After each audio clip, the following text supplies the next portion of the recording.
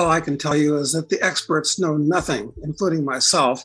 And a major reason for that is that basically all we know is what we hear from government approved sources and the mass media, which are basically minions of the government, and even the things that I hear and read. And I subscribe to several international newspapers in Hong Kong and London, of course, here in the US and others. Uh, you've got to take it all with a grain of salt because uh, in war, it's been said correctly that truth is the first casualty. So mm-hmm. don't believe anything. So, on that note, uh, let's start uh, with the latest developments here. I mentioned Saudi Arabia, and my main question to you is Is the US dollar in danger here? Yes. Well, it, has been an increasing danger for decades, but now it's gotten to a critical level. Look, from the most basic uh, point of view, the US government itself is bankrupt, terminally bankrupt. It can't dig itself out of the hole. In fact, it's digging the hole deeper. The uh, official 30, 31 trillion uh, dollar deficit is being added to at the rate of a trillion, trillion and a half a year. So everybody knows, uh, certainly sophisticated people know, that the dollar is a hot potato.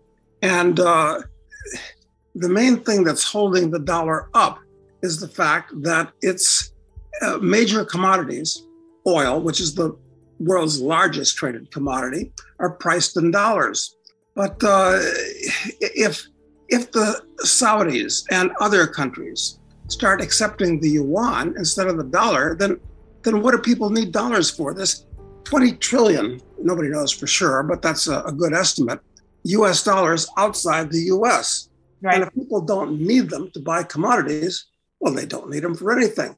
And they're going to start unloading them. So, yeah, this is a really dangerous situation. And it's, and, not, and, it's not just the Saudis. It's the Nigerians who are major African oil exporters are doing the same thing with the Chinese. The Nigerians, the Saudis don't buy anything from the US, but they buy lots of stuff from the uh, Chinese. So it's perfectly logical. If the US dollar's, you know, role um, and dominance as reserve currency uh, is coming to an end, I mean, what what replaces it? Well, that is a $64 question. Uh, I think what's going to happen is that we're going to go back to gold. Look, even the Chinese and the Russians, who are closer now than ever, do most of their trading, I understand, with US dollars, which is crazy. Uh, they have to clear those dollars through New York, the homeland of their enemy. You don't use the enemy's currency, for God's sake, or, or the adversary's currency, if you wish.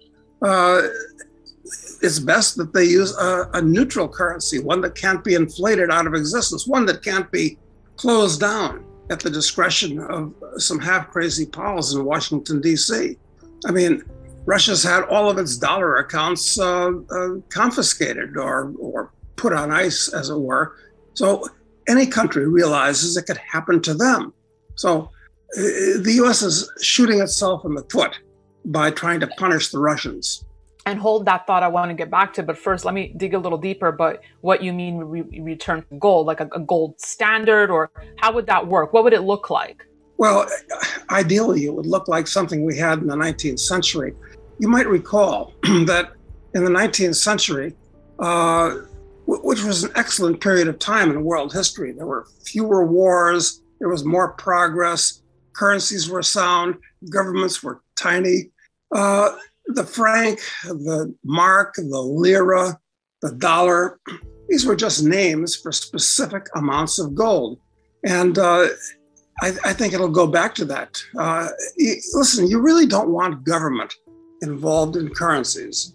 I mean, gold takes governments out of currencies. You don't have to trust a government if you use gold.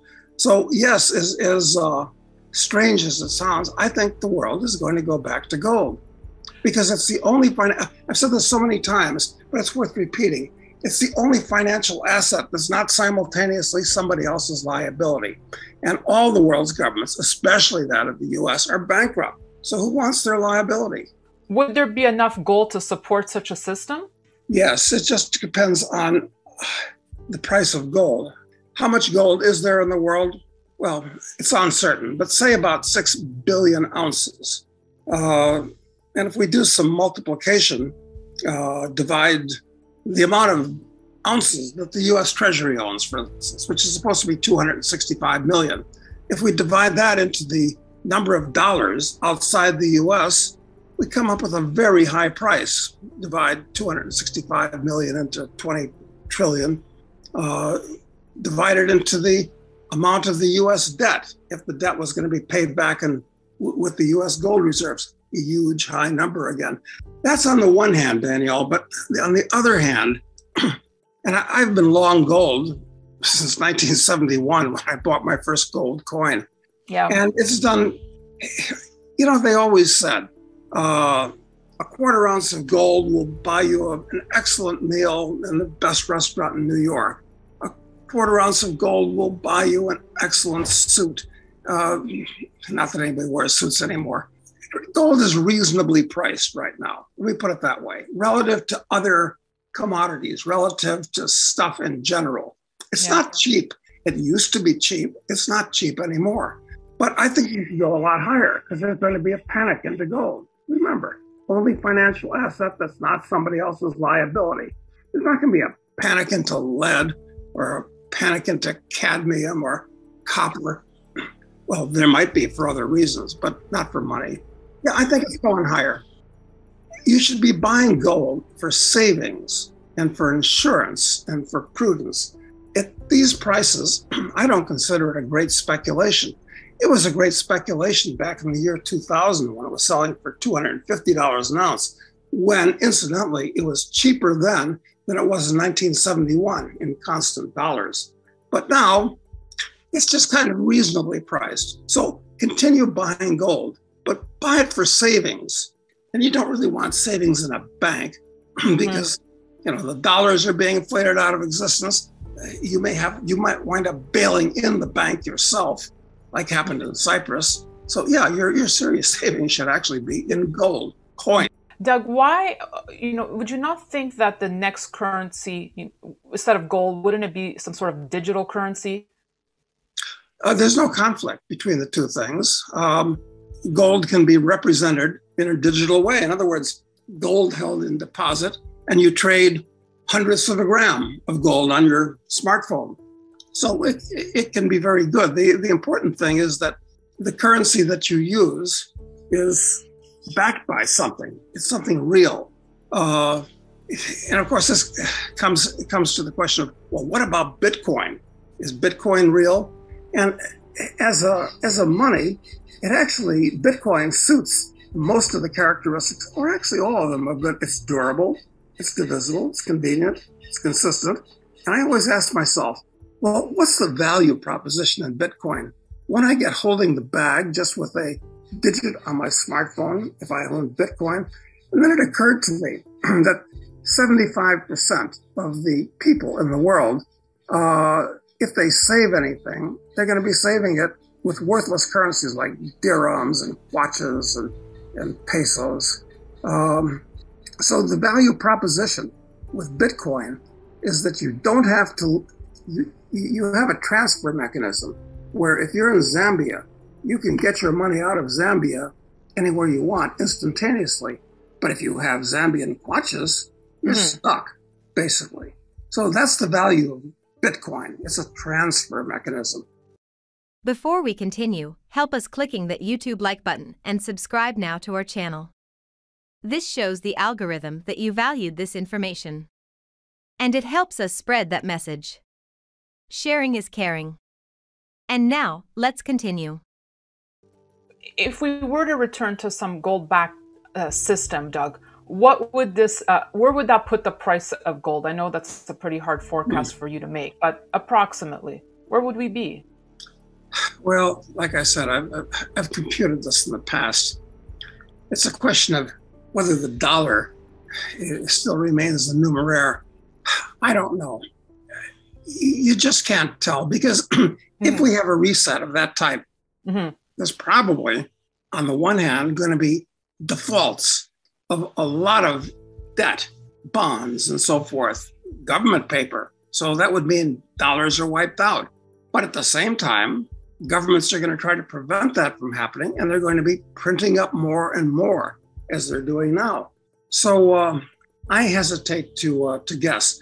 What I'll say is this: own gold in your own physical possession for savings, and if you want to speculate, uh, own gold stocks because uh, industry-wide, the all-in sustaining cost.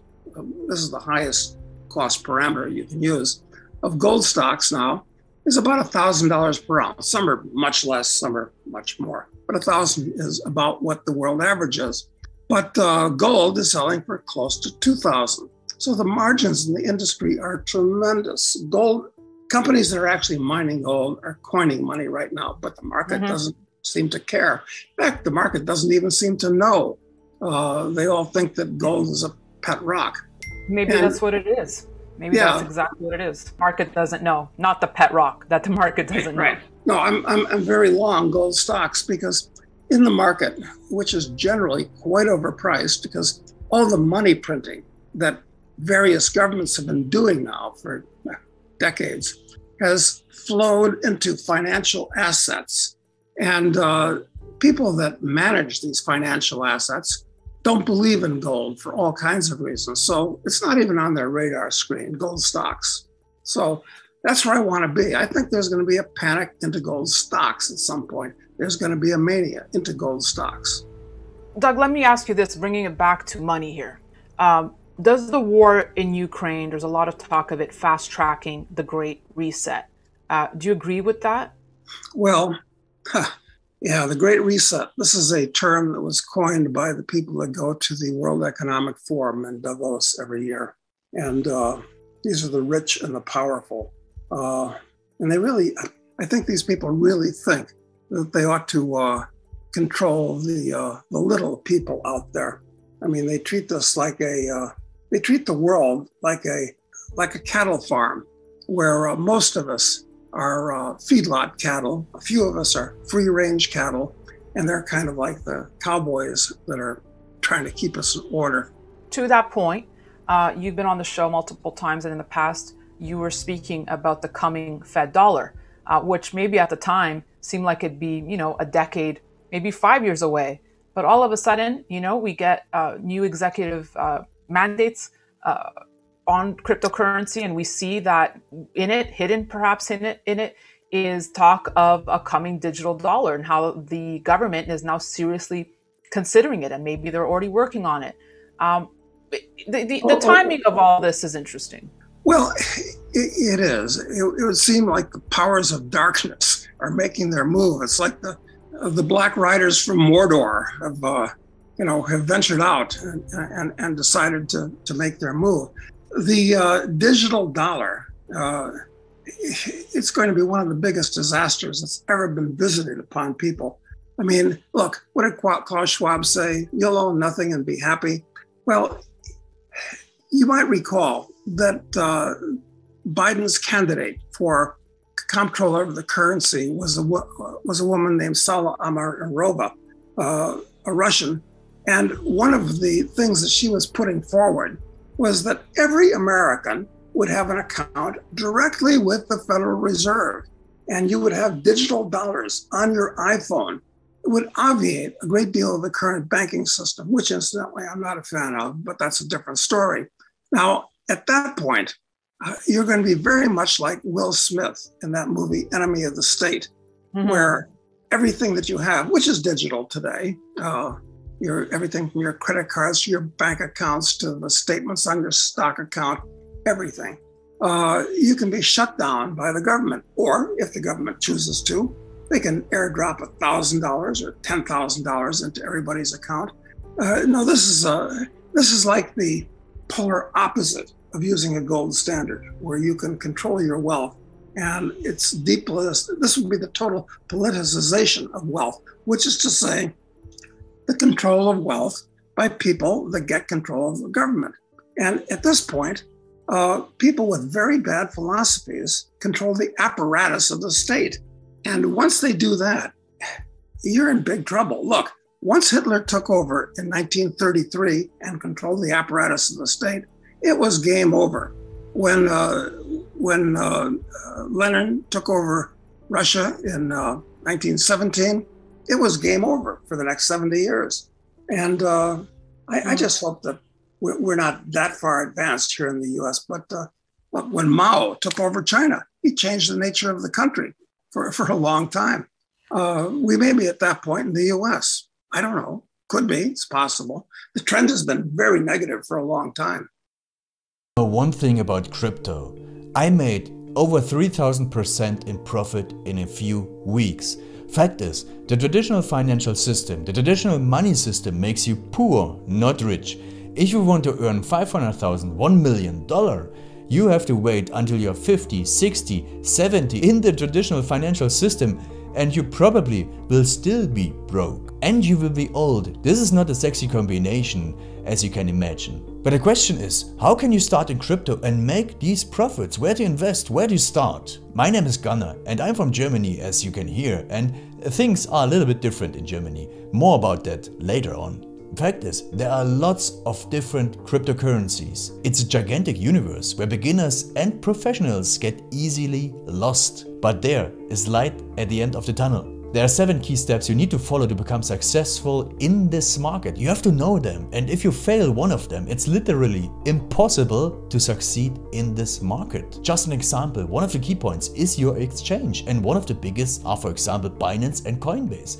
These are trusted and well-established exchanges, but, and this is a big but, you won't find the super profitable coins on those exchanges. The unknown super profitable coins that get gigantic profits are not traded on those kind of exchanges. They are traded on much smaller insider platforms that are barely known. And I can tell you what those super secret exchanges are and why they are so profitable. And another super important thing are the right information sources. The point is, the internet is gigantic. There are hundreds and hundreds of YouTube channels, blogs, pages and much, much more. And there are also market makers and influencers. For example, Elon Musk, he is not a crypto guy, but the moment he recommended Dogecoin, it went through the roof, to the moon so to say. But why did he recommend it?